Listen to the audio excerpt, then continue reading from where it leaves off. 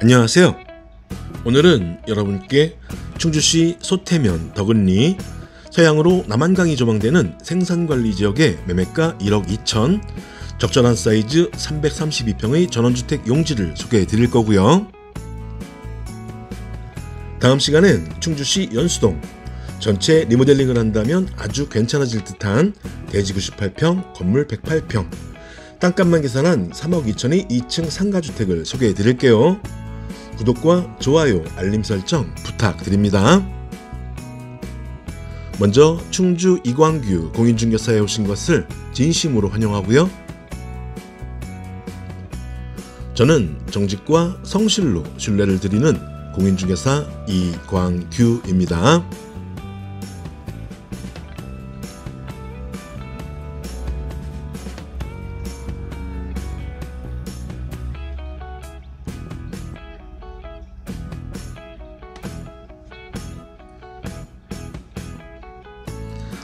오늘 소개 토지의 항공사진입니다.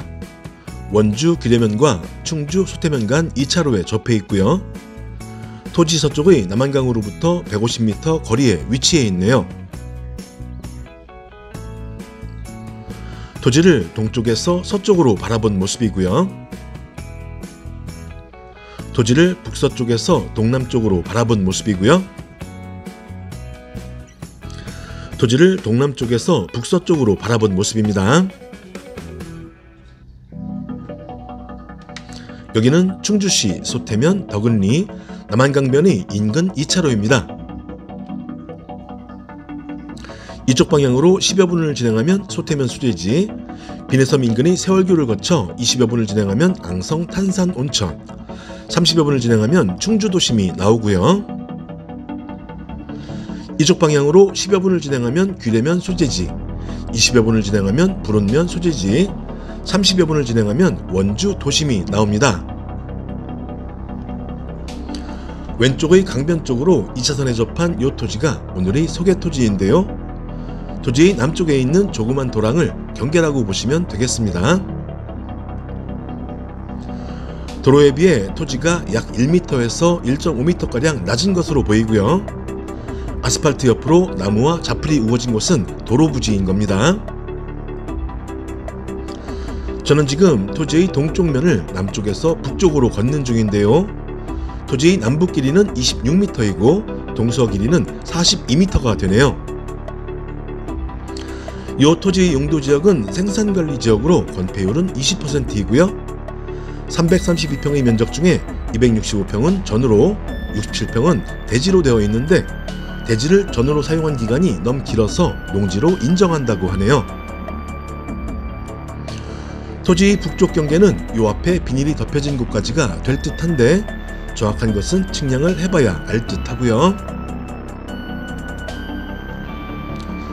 토지의 서쪽 경계는 아무래도 저 앞에 나무가 심겨진 곳의 직전까지가 될 듯하죠. 그리고 한 가지 알아두셔야 할 것은 이 토지 면적 중에 강변 쪽으로 5분의 2 면적 정도는 수변구역으로서 건축이 불가능하다는 거 말씀드리고요.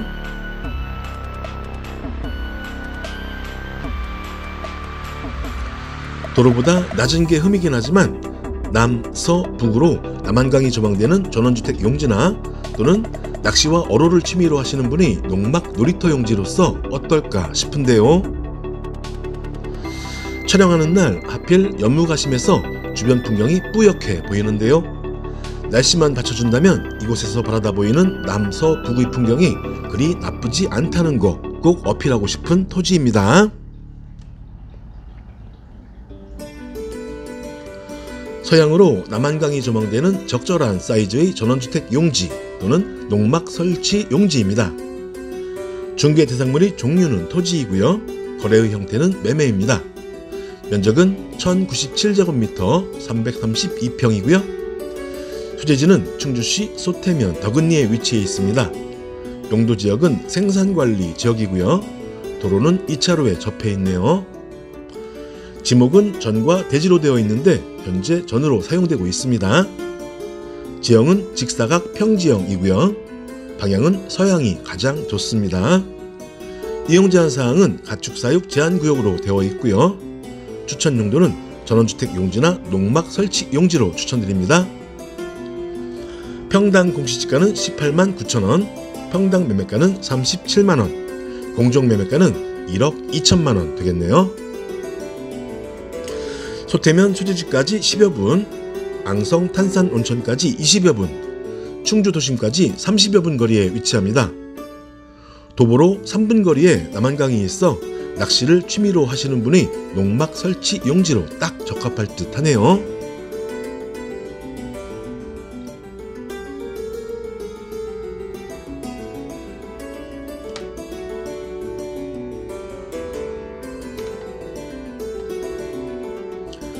고객 만족을 위해 1년 350일 최선을 다하는 공인중개사입니다. 충주시와 충주권역 부동산에 관한 모든 상담을 해드리고 있어요. 토지, 주택, 아파트, 원룸, 빌딩, 공장, 창고 등 매매 및 임대에 관해 전화, 문자, 카톡 주시면 정직과 성실로 신뢰를 다 하겠습니다.